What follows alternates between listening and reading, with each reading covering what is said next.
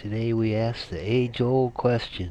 If a dog farts in the woods and no one's there to hear it, does it make a sound?